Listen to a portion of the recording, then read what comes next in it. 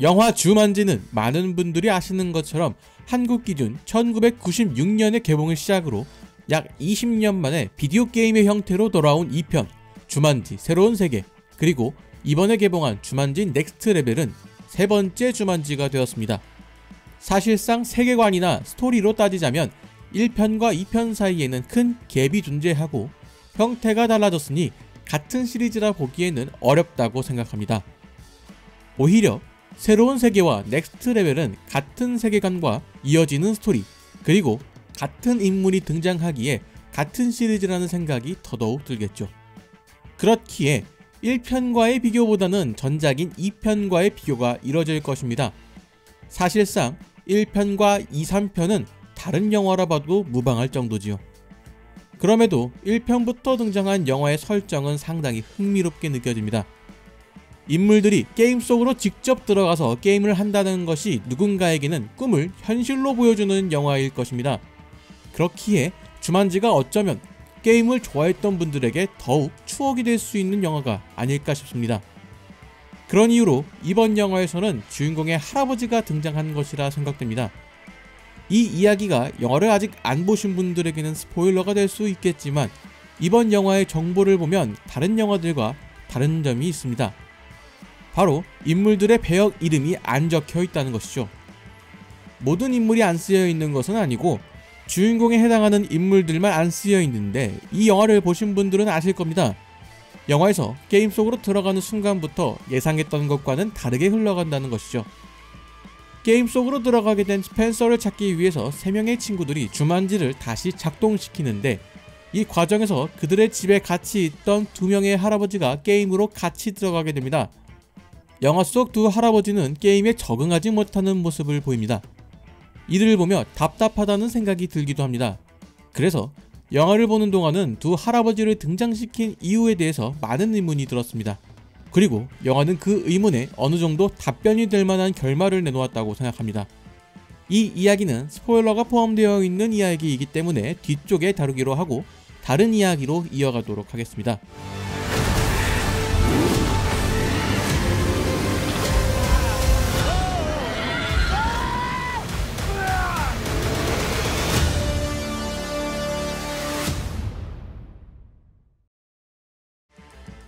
영화가 보여준 모습은 전작과 크게 다르지 않습니다. 주만지라는 게임 속에서 인물들의 여정이 등장하고 사건을 해결하는 전개 방식을 보여주죠. 그렇기에 이번 영화에서는 전작보다 다른 무언가를 필요로 했습니다. 굳이 이번 영화를 봐야 하는 그런 이유가 존재했어야 하지요. 저에게 영화 속에 그런 것이 있냐고 물으신다면 저는 없다고 이야기할 것입니다. 느끼시는 정도에 따라 다르겠지만 이 영화는 전작과의 차별점이 거의 없습니다. 이 영화에서 기대한 것은 전작만큼 게임 속에 들어온 것 같은 느낌이 들도록 해주는 것이죠. 그런데 이번 넥스트 레벨에서는 왠지 모르게 그런 느낌이 덜하다는 생각이 듭니다. 새로운 캐릭터의 등장으로 어느 정도 활력을 불어넣고는 있으나 전작에서 이미 경험을 해봤던 게임 속 세상이기 때문에 그 감흥이 덜할 수도 있겠다는 생각과 동시에 인물들이 게임을 받아들이는 태도에서 차이가 존재하기 때문에 그런 것이 아닌가 하는 생각이 들기도 합니다. 전작을 생각해보면 주만지라는 게임에 들어오게 된 인물들이 아무것도 모르는 상태에서 누군가에게 쫓기고 여러 시행착오를 겪으면서 주만지라는 세계에 대해 알아가고 있고 이들은 처음부터 끝까지 탈출이라는 목표 하나만을 보고 달려가고 있다는 것입니다.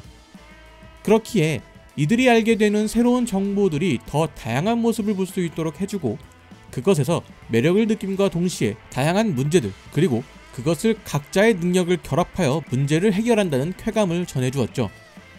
자신의 능력을 알고 있지만 자신감이 없었던 인물들이 자신감을 가지고 문제에 임했을 때 그 능력이 발휘된다는 이야기와 이어지는 부분이기도 하죠. 이번 영화에서는 인물들이 너무 능숙하다는 생각이 듭니다. 물론 그 능숙함에서 오는 재미도 있을 것입니다. 그 재미는 인물들의 능력이 관객들이 예상하지 못한 방향으로 풀어내거나 결합된 능력들이 새로운 시너지를 발휘하는 식으로 보여주었다면 하는 아쉬움이 존재합니다. 영화에서는 각 인물들에게 이전과 다른 새로운 능력들이 부여되었고 그 능력을 알게 하는 과정도 상당히 간단하게 그려집니다. 그리고 그 능력을 활용하게 되는 계기도 상당히 쉽게 등장하는 편이죠. 그렇기에 인물들의 모험이 자신을 찾아가는 과정이라는 전작과의 이야기와는 조금 다른 느낌이 든다는 것입니다. 이런 문제를 영화도 인지하고 있었던 것 같습니다. 이를 위해서 둘 할아버지의 캐릭터를 적극적으로 활용하려고 했던 것 같습니다. 결과적으로 이러한 시도가 절반의 성공을 거두었다고 생각합니다. 결말까지 본 뒤에 느껴지는 영화의 메시지 전달에는 성공적이었으나 영화 속에서 이 캐릭터를 제대로 활용하지 못했다는 생각이 듭니다. 이는 영화의 중반부를 넘어가게 되면 다시 원래의 캐릭터와 크게 다르지 않은 모습으로 등장합니다. 그리고 중반부 이후에 본래 캐릭터의 모습이 더 매력적으로 느껴지면서 앞에서 해왔던 모험이 조금 무의미해진다 라는 생각이 들기도 합니다. 더 나아진 모습을 보지 못해서 아쉽다라는 것입니다. 어쩌면 이러한 이야기를 하는 것이 다행이라는 생각이 들기도 합니다. 비교적 빠른 시일에 등장한 후속편이 전작과 비슷한 수준의 완성도를 보였다는 것은 어느 정도의 성공이라고 볼 수 있는 일이죠. Next Level이라는 영화의 제목처럼 조금 더 다양한 모습과 더 난이도 있는 미션을 해결하는 인물들의 모습은 전작에서 느꼈던 재미와 비슷한 수준의 재미를 느낄 수 있을 것이라고 생각합니다. Where's the jungle? This is a whole new thing. Nobody told us we had to do a whole new thing. Okay, something went wrong. Welcome to Jumanji. 그렇기에 전작을 재미있게 보신 분들이라면 이 영화 또한 재미있게 보시지 않을까 라는 생각이 듭니다. 개인적으로 영화에서 가장 인상적인 부분은 바로 영화의 결말부입니다. 이 이야기는 스포일러가 포함되어 있으니 이 점 참고하시기 바랍니다. 영화에서 가장 괴리를 보이는 존재일 수도 있을 것입니다. 할아버지와 비디오 게임이라는 존재는 전혀 어울리지 않는 존재라 인식되어 있죠. 그럼에도 저는 이러한 포인트가 상당히 좋았습니다. 무엇보다 게임의 특성상 해당 세계관에서는 내가 아닌 다른 사람이 된다는 것에 포인트를 두었다는 것입니다. 그리고 이를 몸이 불편하거나 죽음을 앞둔 두 할아버지에게 적용했다는 것은 그들에게 새로운 삶을 체험하게 하는 방식으로 적용되고 있습니다. 게임이라는 것이 이들에게 새로운 것을 경험하게 해주는 혹은 새로운 인생을 부여하는 하나의 매체라는 것을 보여줍니다. 영화의 초반에는 이들이 주만지에 적응하지 못하여 어설픈 모습을 보여줍니다. 그리고 이러한 모습은 이들이 할아버지라는 특징 때문에 그런 것처럼 느껴질 수도 있습니다. 하지만 생각해보면 이러한 모습은 주만지에 처음 들어오게 된 주인공들도 겪었던 일입니다. 게임 속에서 두 할아버지가 게임의 큰 역할을 하면서 사건을 해결하는 단초가 되기도 합니다. 그렇기에 마일로의 선택이 감동적으로 다가오는 것이죠. 여태까지 알지 못했던 것을 새롭게 배운 그는 새로운 삶에 도전을 하게 됩니다. 그것은 단순히 죽음을 피하는 것이 아니라 새로운 것을 배우게 된 그에게 새로운 삶이 등장한다는 이야기로 저에게 다가왔습니다. 새로움은 나이를 불문하고 삶의 활력이 되는 것이죠.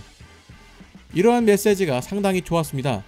세대 갈등이 깊어진 현 시대에서 두 세대가 하나의 게임 속에서 서로에게 도움이 되며 하나의 사건을 해결한다는 것이죠. 그리고 그 목표가 되는 인물이 스펜서입니다.